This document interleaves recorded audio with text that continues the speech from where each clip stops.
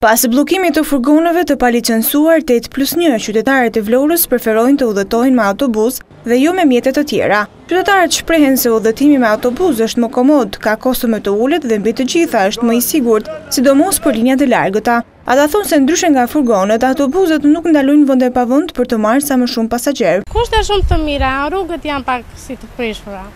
Nuk ka rrezik me autobuzat duke qenë se janë të mëdhenj? Jo, jo, janë shumë të mirë. Më mirë me autobuzë. Pse? Është më mirë, është më e hapur. Ka më hapësirë. Ecim gjithmonë me autobus. Janë më të sigurt më më ashtu. Nga sa ishim, sa po vete po përmirësohen. Referuar kushteve të autobusëve që udhëtojnë në linjat Vlorë-Tiranë, Sarandë-Delvinë apo jashtë Shqipërisë, qytetarët thonë se kushtet janë më të mira dhe mjetet janë të reja e komode.